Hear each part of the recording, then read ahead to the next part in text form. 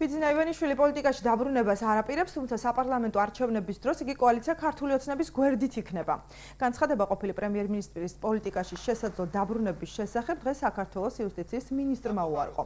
თეა წულუკიანმა ასევე აღნიშნა, რომ მისთვის საარჩევნო სიის შემადგენლობა ჯერ ცნობილი არ არის, თუმცა იუსტიციის მინისტრი სურვებდა, რომ სიის რიგებში ყოველ ხუთ კანდიდატ შორის ორი ქალი იყოს.